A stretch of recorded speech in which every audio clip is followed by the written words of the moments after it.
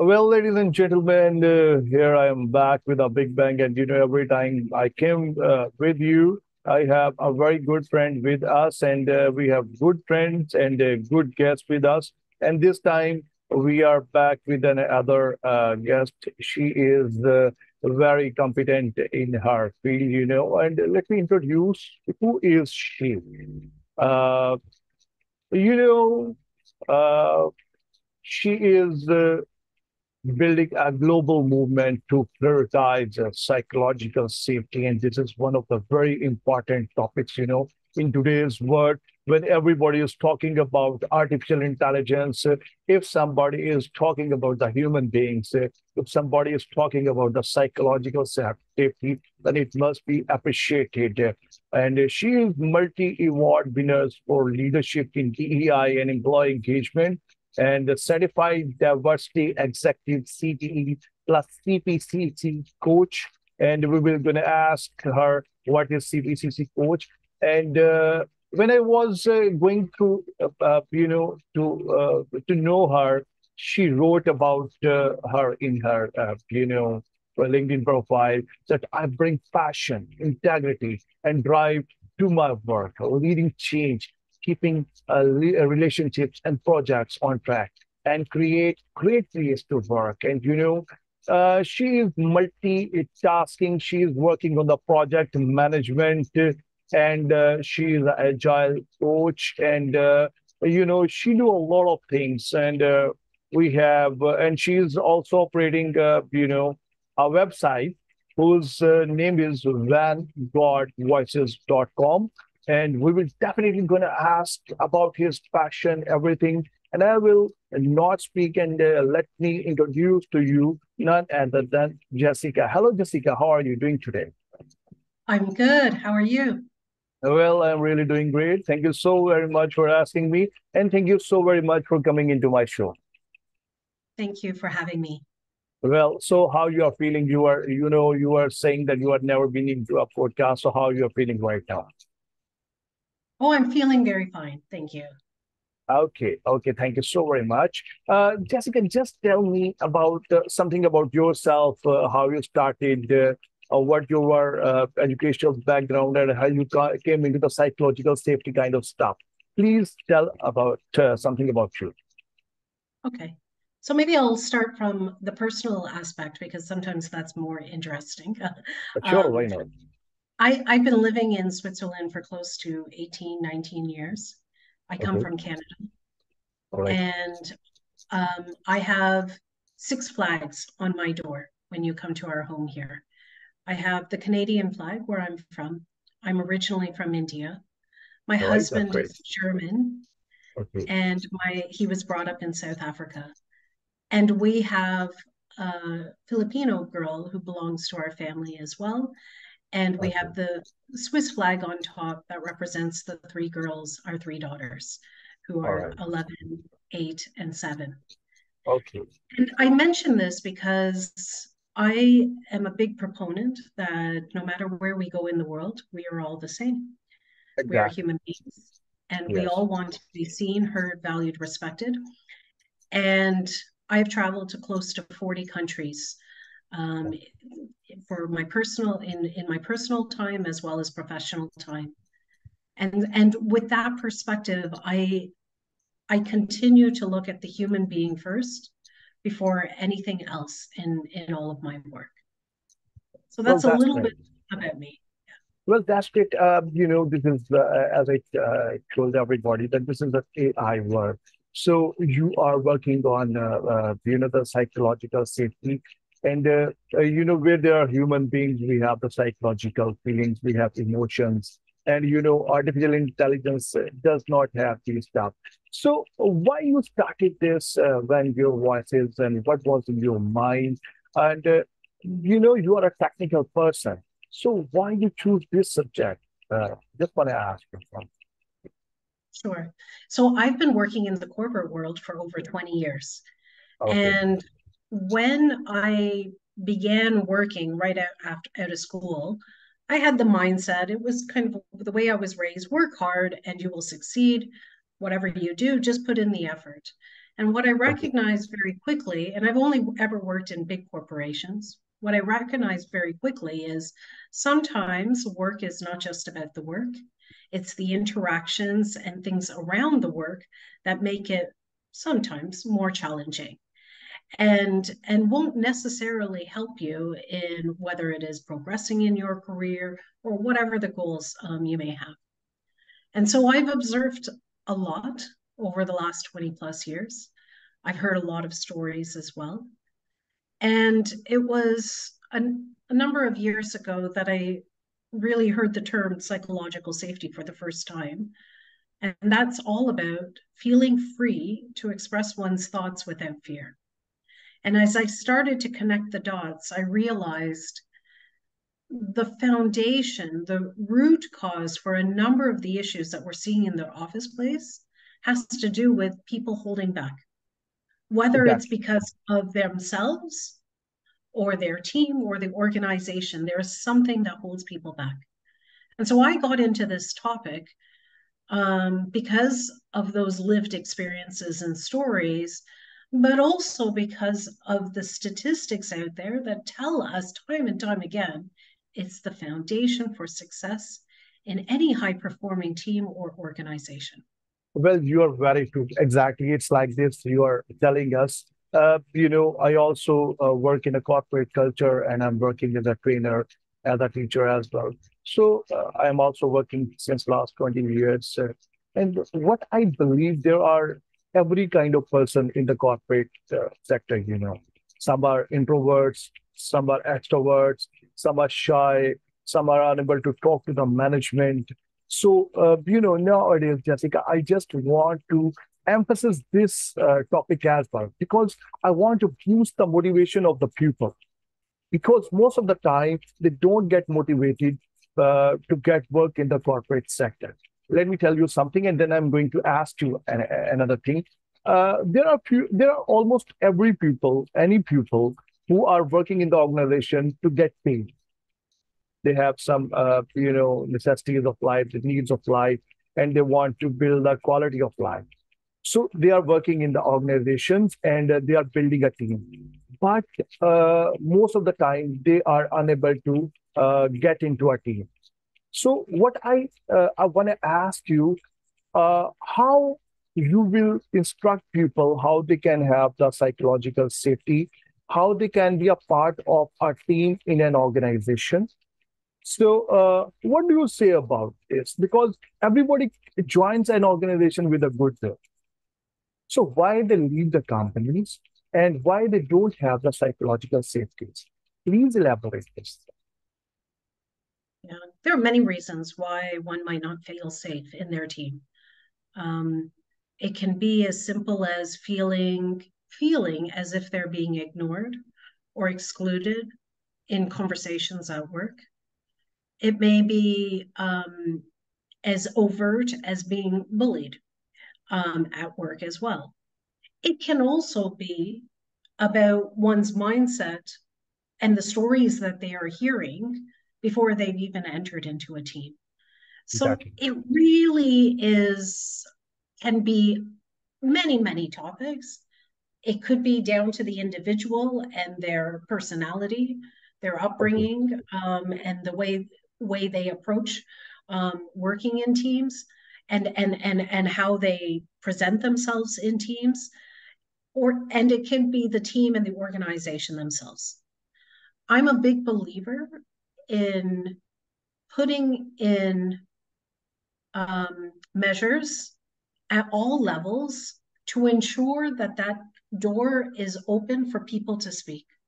And for people to speak, they need to have trust in the system to begin with. You are very right. Exactly. Uh, very true. Uh, I believe in this as well. Uh, how you help people when somebody came to you and uh, or you are helping somebody. How you start uh, helping or counseling him or her regarding because uh, a lot of people have the psychological issues they have emotions. So they have the psychological issues they are under stress uh, you know uh, in this era. So how you help them? Yeah to me it comes down to coaching and really understanding very deeply where that person is coming from.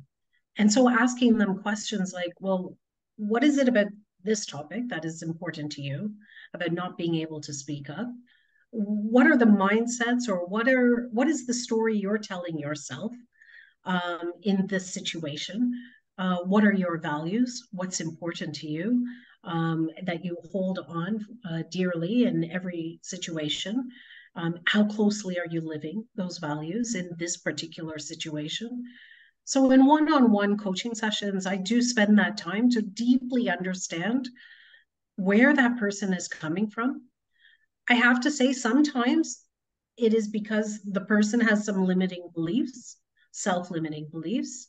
Okay. And sometimes there, there are um, pressures or external influences, situations which is hard to influence. Um, there's only so far somebody can take. The only thing we can control are our own actions. Exactly, exactly. Very true. Jessica, I was uh, uh, uh, reading Brian Tracy, and uh, he was writing in his book that every uh, employee who's working in a workplace, they have, uh, you know, three kind of, they have a self. And what is self? They have three kind of self self ideas, self image, and self esteem. Three kind of self self ideas, self image, and self esteem. If all these selves are fulfilled, then the employee will love to work in that organization. So, what does it mean that every organization have a culture? You know, every organization have uh, uh, a unique set of uh, uh you know uh, goals to achieve in the organization. So, uh, how managements work and how managements uh, collaborate to change the culture of the organizations. What do you say about it?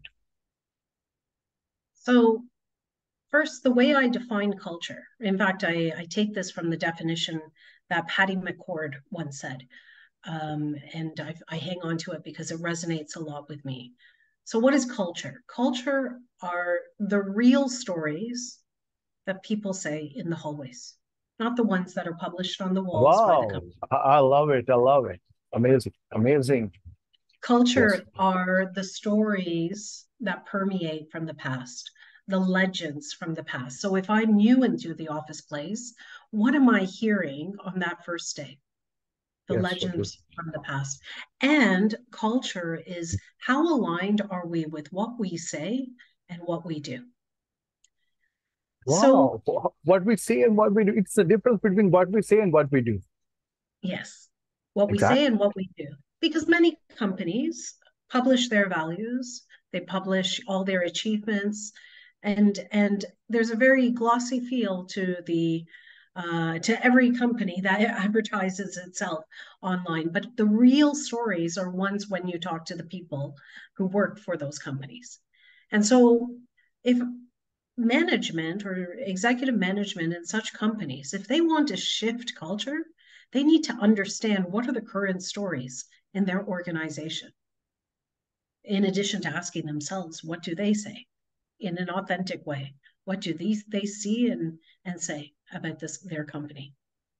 And to shift the culture in a way if if one believes that psychological safety truly believes is the foundation for success and you know that there are some barriers in your company you know that there are certain stories that are out there well what management should do is create more awareness on the topic there needs to be more transparency about conversations. And there needs to be a collective accountability. That means, as a company, we say we uphold our values, and one of them being that we feel free to express our thoughts without fear. Awesome. Awesome. Uh, Jessica, I got your point. But here there is a point in my mind.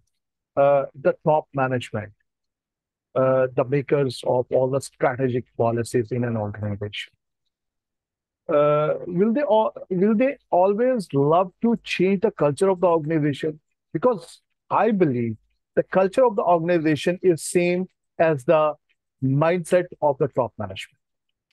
So, do they want to change their mindsets to change the culture of the organization. What do you say about it? I think executives, management today who don't recognize the importance of psychological safety will quickly become an extinct organization in the future. Right. There are many organizations where, yes, the focus is on, you know, making money, saving money, our organizational goals. Cost reductions. Yeah.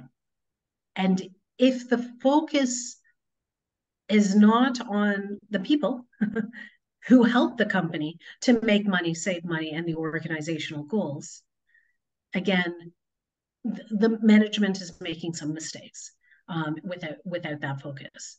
And so I I think that we are in a very precious time where we're seeing more noise out in the world about company cultures, about employee engagement, about psychological safety. I and believe, I think I believe I believe I believe in it. Yeah, exactly. Yeah. And and so already from where I sit, we're making noise. People are listening. Now we need to take the next step for more action. And at some point, the majority of those who are looking um, to just focus on profits before people will slowly become the minority uh, of the future. Exactly, you're right. And uh, uh, Jessica, you know, there are a lot of people. I am uh, just listening it and reading in the, the, newspapers, in the journals, that just after the COVID 19, uh, the people are not uh, doing jobs anymore in the companies. They are resigning uh, from the companies because of these cultures. So, do you want to say anything? Because I was reading in a newspaper, in the journal, that year 21 was the greatest uh, resignation year in the whole century because people don't want to work in the companies with the old cultures, with the old beliefs, uh, where people are sitting and they're dictating them. Now the people want use the Facebook, use the Twitter, use the social media, and uh, uh, have the boss employee impact as uh, uh you know uh, as their friends. So, do you believe in it? Please tell us? Yeah, absolutely. I mean, this new generation of workers are that much more focused on on purpose. And you know, in a lot of the coaching sessions that I offer, I'm hearing more and more of being connected to purpose. And those who are disconnected, I, you know, I can see how much it disturbs um, you know, crying out, why am I wasting my time on meaningless work that doesn't serve what I'm meant to do? And there are more and more people who are having conversations with themselves, with their families. Am I meant to stay in this work?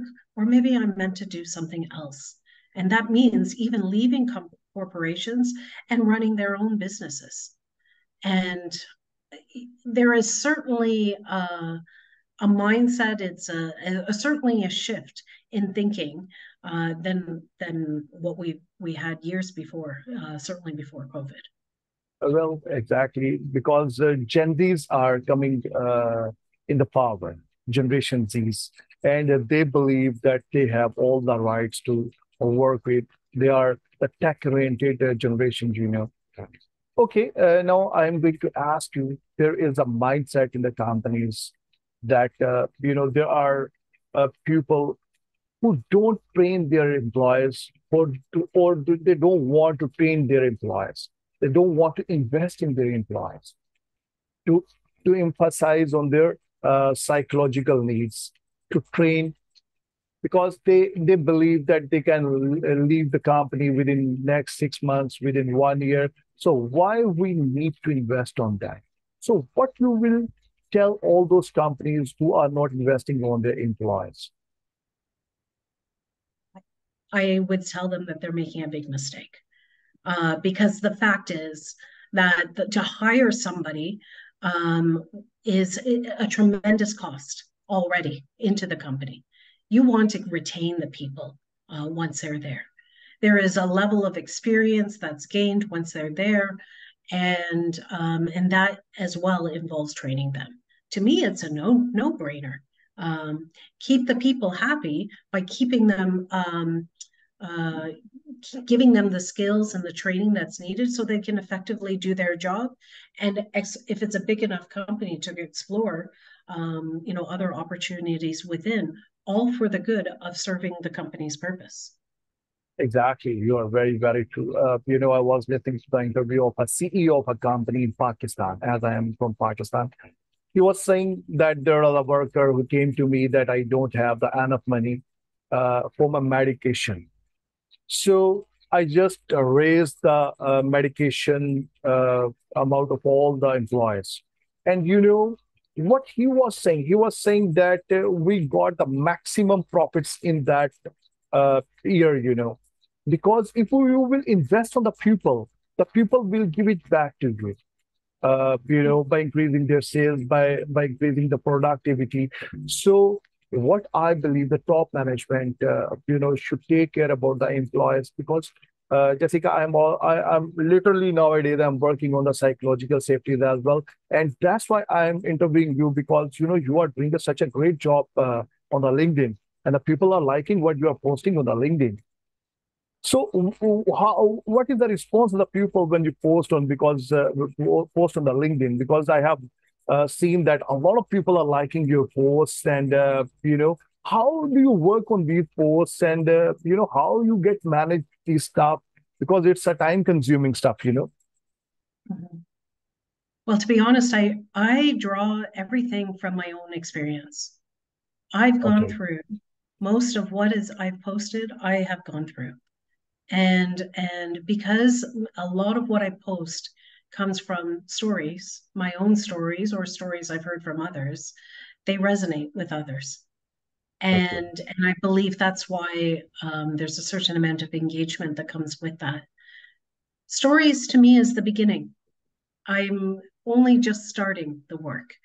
Stories is a way to create awareness, but we need to make real change in organizations. And for me, I want to you know, if I put myself in the shoes of somebody who is currently going through a difficult situation at work, who doesn't know what to do, um, yes, coaching will help for sure in their short term, but I'm looking for a root cause. I'm looking for systemic change. And for systemic change to happen, we need to move beyond the stories into changes in um, the measures and the policies um, in organizations. Awesome, awesome, awesome. I have another question in my mind, and uh, that is about the emotional intelligence. And, uh, you know, one of the most important things people should know. And I will start questioning from, from an example. I have uh, read in the book that whenever a person is moving from middle management to the top management, his emotional intelligence gets decreased. Rather than it should increase, it gets decreased.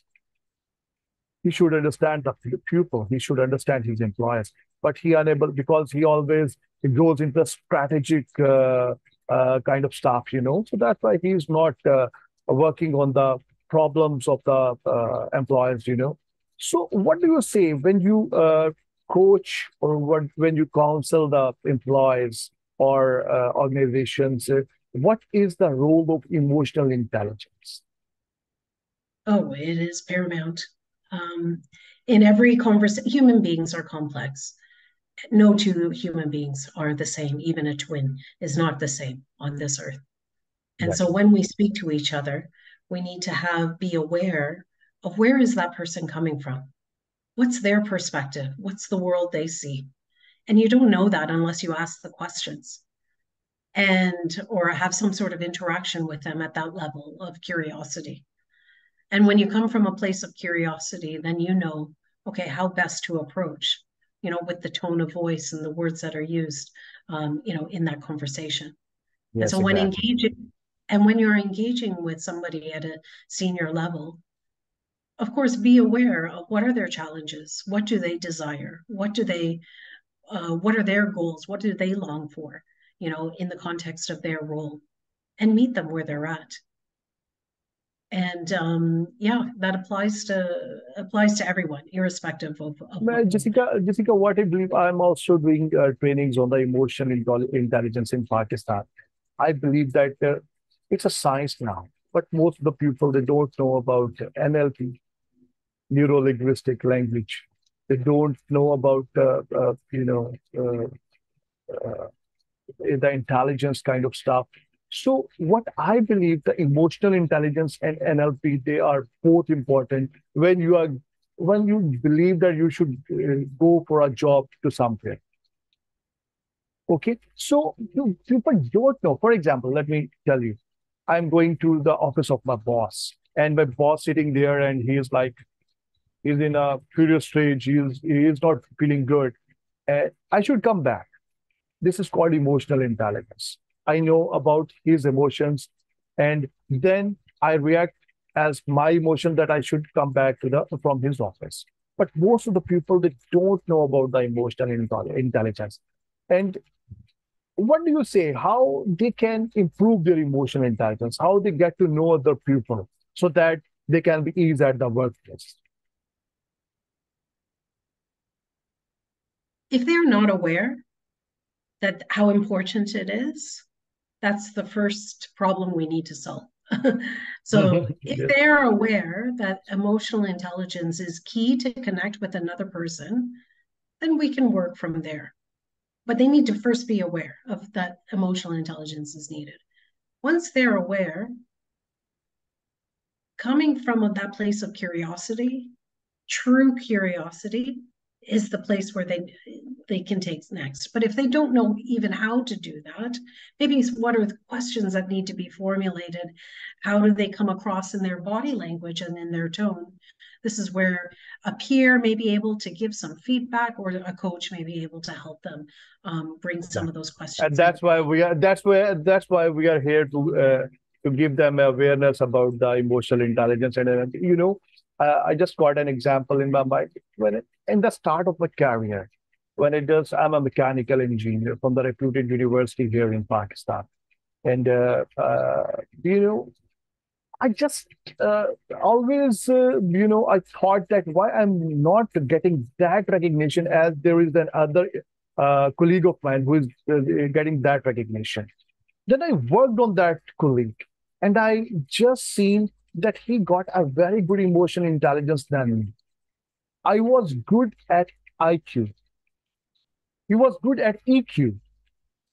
So I just grabbed EQ from him, uh, know, and uh, uh, then afterwards, uh, I just grabbed how to I can get the emotion intelligence. I read the books of emotional intelligence. I read the books of uh, NLP, neuro linguistic programming, and then uh, I do I do good with my bosses. You know, it's a great deal how to get good with your bosses. You know, every boss is different, but every boss at the end of the day is a human being as well. Yeah, absolutely. So, so why people don't raise their voices? Why they don't talk to the management regarding their issues? You know, Jessica.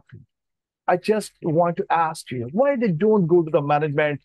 I know a lot of people they don't go to the management yeah again it's a very complex you know situation as you the answer is unique to the individual so you know they might not go to the management because they just simply do not trust that what they say will actually be heard and understood um, and even if it is heard and understood would action be taken they might okay. not go uh, to the mm-hmm. Yeah, yeah. I am just uh, going through your uh, website and it's saying that psychological safety is feeling free to express one's thought without fear of negative consequences. Yes. So this is the fear of talk. You know, the people are uh, fearful that their boss will fire them, and you know, uh, what will happen. So should I talk to them or like this? So, so that's why I'm asking you about this stuff. Yeah. So fear can come from, okay, maybe I'm going to lose face. Maybe I'm going to be fired. Maybe I'm going to be demoted. Maybe I won't get that raise. Maybe I'm going to, there's going to be, uh, I'm going to be bullied at the end of it. I can speak about the corporate world. I'm sure it applies to, you know, other workplaces in the corporate world. Nothing is always is black and white. Sometimes there are backroom discussions that happen that you do not see. And so the impact on you is negative, whatever it you know, it, some sort of negativity, but you don't know what has gone on behind the scenes. Exactly. And and so it's it goes back to what are the stories that we are saying in our workplace? What are the stories we're saying to each other? And and are those stories, but most likely holding us back from going to top management?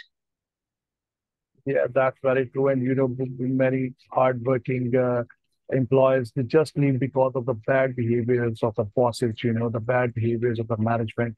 They just leave the company. They are paying good they are excellent at their work, but because of their psychological safeties, they are just leaving the uh, uh, you know organizations. So Jessica, just uh, uh, we are getting out of time. So just tell me how we can uh, aware the people regarding their psychological safety and uh, what is about your campaign, how people are reacting to your campaign. Like I am a member of your campaign and I am doing everything what you want people to do in their uh, respective areas. So what do you say to the people? How you get, how they can join your company? Okay. So I see this as a movement, and I believe that a movement is what is required to make ch- real change in our world. Um, it's not just by talking, but again by action. Action. Our yes, yes. Our mission for Vanguard Voices is to bring it to the top of workplace agendas this the topic of psychological safety. And the way we do that is through shared voice and through bold action. So what am I asking people to do? At um, the first thing that I'm asking is for people to join, um, you know, our mailing list. So to go on our website, vanguardvoices.com. So how many members you have right now? So how many people have joined you right now? Um, we have yeah, numbers are right now not important, but like I have about sixteen thousand followers. No, no, I mean, I, I, mean, there are a lot of people who are joining you in in your campaign. What I want to ask you. Oh, there's there's a number of I don't have a specific number. There's some some hundreds of people that are okay, that are okay. in the mailing list. Uh, okay. But we are in the early stages. You're li- literally speaking to me at, at, at an early stage. Um, we haven't hardly ever begun. I've started this campaign by just myself posting on LinkedIn. Um, now, more people need to say the same. More people need to share their stories. And we need to do this in a way that is a steady drumbeat. That's the way how I see it. A movement is the same action repeated again and again, and it needs to be a simple action again and again in a steady drumbeat. And so this is not about me. It's not about one. This is about many doing the same. So we start with stories. We start with people giving their pledges of support. We have digital badges that can be given. Okay. But what we what so when, going I, uh, when I'm getting my digital badge, you know, I'm working for it. The the badge. Have, well, there's there. So on our website, there is an oath. You know, kind of saying I promise um, to nurture psychological safety to the best of my ability. So again, this okay. is on the website, and then when people take this, they can have this badge that they can put on their LinkedIn. Okay. So this is this is all in the name of creating awareness. But then the next step is that we want to work with companies. And we want to work with companies where management, first of all, believes that psychological safety needs to be prioritized. And with them, we will hold the workshops and trainings and everything that's needed to embed it from top down, bottom up, side to side. And when we are working with those companies, that drumbeat will get louder and we also provide for the individuals the one-on-one coaching support that's needed. Jessica, uh, you know, I wish you very best of luck for your campaign, and I am a part of your campaign, and uh, uh, that's why I interviewed you because I love your campaign because uh, I really do care about the people. I really do care about the psychological safety of the people, and uh, wish you all the best. And I hope so you get again in my show very very soon pleasure talking to you, Jessica. Thank you. Thank you for Thank you. Thank you. Thank you so very much. Uh, Jessica, that was the end of the show, and it was really pleasure talking to you.